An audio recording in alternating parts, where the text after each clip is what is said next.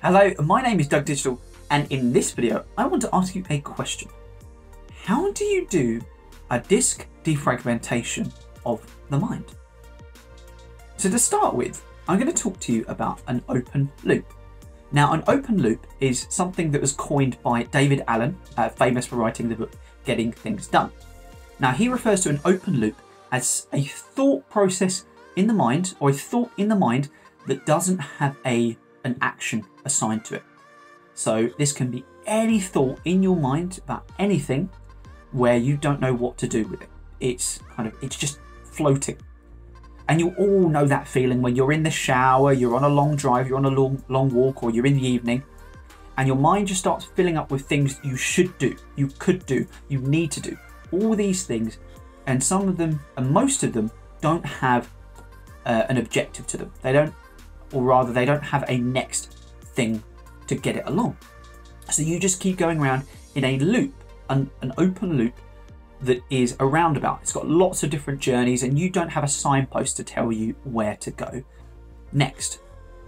And so, back to the idea of a defragmentation on a hard disk drive. The idea with that is that as you fill up your hard disk drive with data, it becomes disparate and it just gets dumped here, there, and everywhere. Much like your mind, these thoughts keep coming in and you don't know what to do with them. You don't know how to allocate them.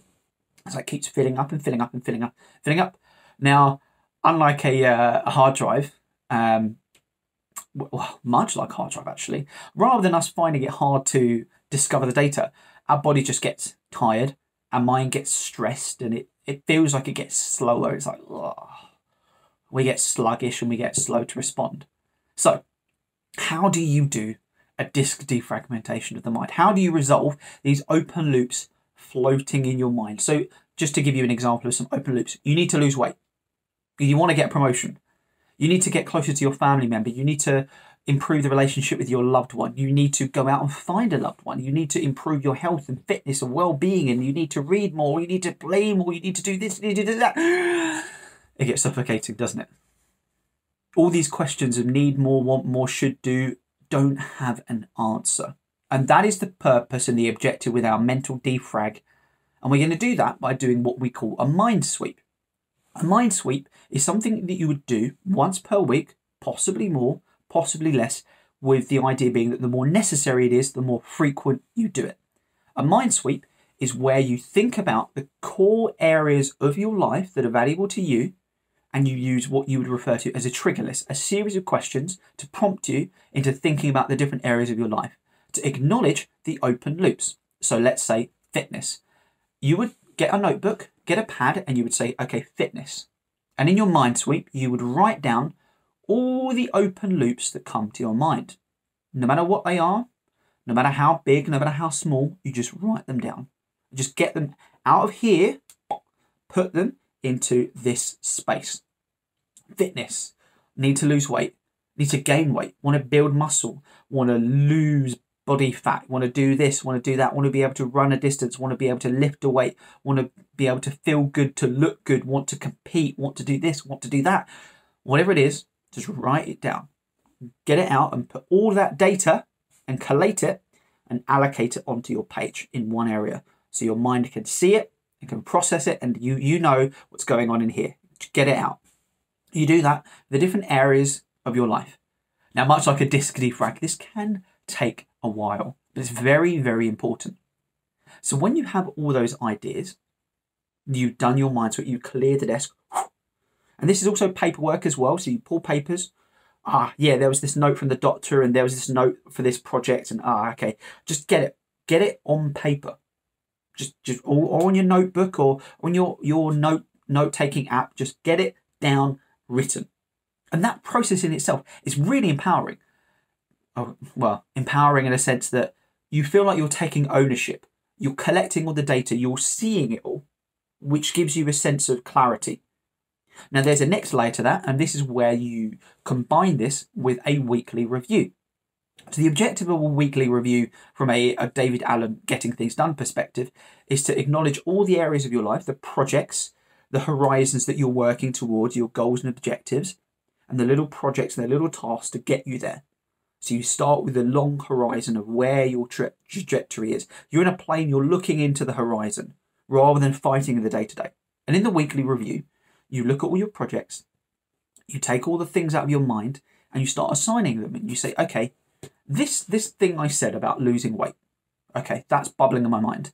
What is the next single thing that you can do to get you to that objective? Doesn't have to be big, just something that you can do to take you to the next step.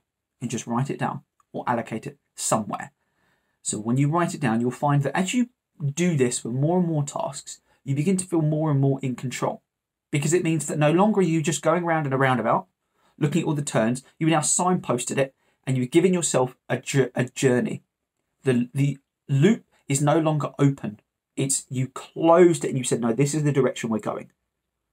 And you do that for lots and lots of different things. You start allocating the journey for those for those tasks. For some loops, you find that actually you don't want to do anything about it. And it's really empowering to say, you know what? I've got all these journeys. I've only got so many miles in the tank. So I'm going to park that for now. I can do that journey another day.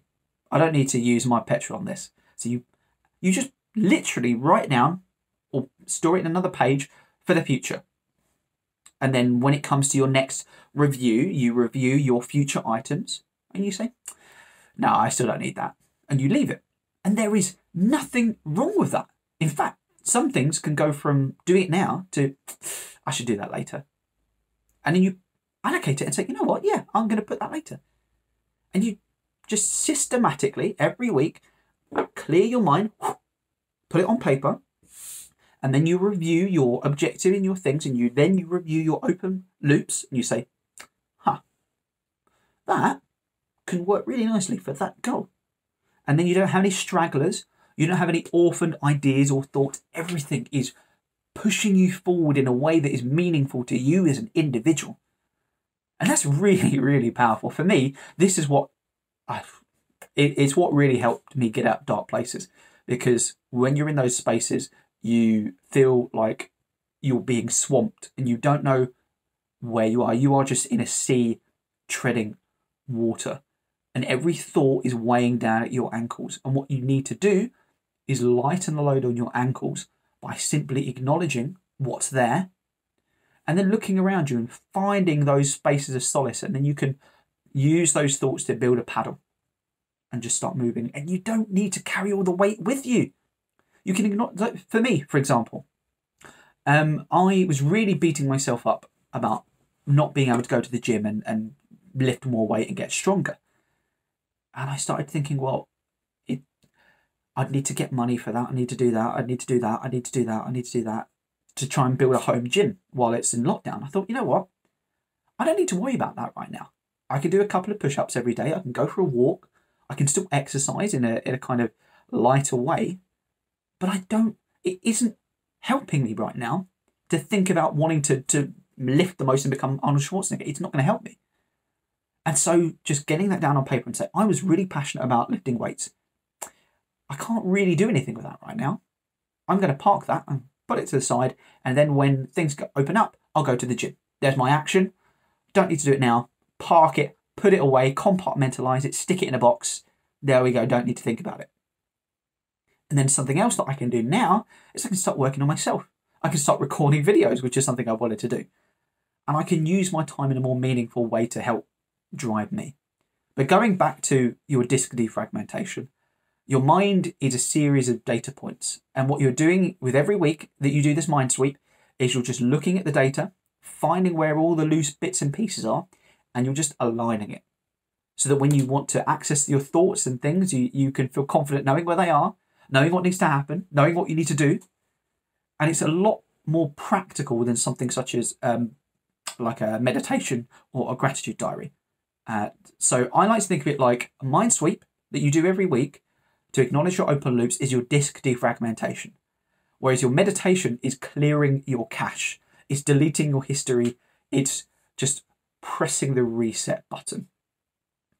Now that's good, definitely a time for that. You should do that once per day but it's not the same as giving yourself trajectory and purpose and objective. So try it once per week, go through your open loops, write them down on paper, give yourself a next tangible action, signpost your roundabout and say, this is the journey that this particular thing is taking. Give it to yourself one action. That's all you need. If it takes two minutes, do it then. But the most important thing is that you give those open loops a purpose and don't let them swim in your mind. Because then you can start prioritizing, you can start allocating, and that that sea in your mind, you begin to breathe again. You begin to come up and you, oh, whew, okay, I know what's going on in here. I've got it down. I can see it and I've got clarity. And that's it's incredibly valuable. It's helped me and I hope this can help you. So give it a try. If it helps you, maybe like this video or let me know in the comments if you didn't find it valuable. If you did, I'm really keen to know. And I hope you've enjoyed this. I've been Doug. Ta